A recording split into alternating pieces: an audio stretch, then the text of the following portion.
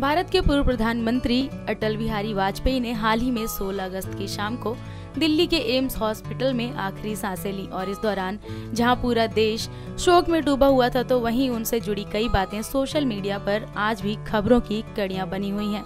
दरअसल, अभी हाल ही में बॉलीवुड एक्ट्रेस ईशा गुप्ता को स्पॉट किया गया रीबॉक के एक प्रमोशनल इवेंट में, जहाँ उन्होंने मीडिया से काफ़ी बातें तो की ही लेकिन जब अटल जी को लेकर उनसे सवाल पूछा गया तो उन्होंने क्या बताया? चलिए सुनाते हैं आपको।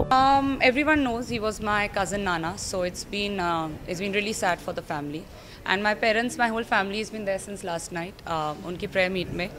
बट आई थिंक ये मेरा लक था कि uh, पूरी ज़िंदगी मैंने उनके uh, आसपास गुजारी. Uh, मेरे नाना और वो एक्चुअली कानपुर यूनिवर्सिटी में they did law together so I that's why I think I did law it was great I mean I don't think हमारे हिंदुस्तान में अभी तक कोई ऐसे पॉलिटिशियन या मिनिस्टर हुए हैं कि पूरा देश पूरी आवाम किसी के कोई भी उनके खिलाफ नहीं एक शब्द बोलेगा क्योंकि उन्होंने तीन बार प्राइम मिनिस्टर बने पूरे हिंदुस्तान को एक साथ लाए अ, जैसे उन्होंने कारगिल के टाइम पे हिंदुस्तान को संभाला और जोड़े रखा अ, और अपनी पोएम से उन्होंने सबका जी दिल जीता। बहुत अच्छे लिखते थे वो।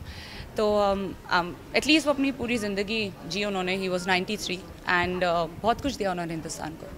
Thank you so much thank you thank you so much next nine live से चांदनी की रिपोर्ट अगर आप भी बनना चाहते हैं एंकर और रिपोर्टर वीडियो एडिटर कैमरामैन या स्क्रिप्ट राइटर तो हमें संपर्क करें।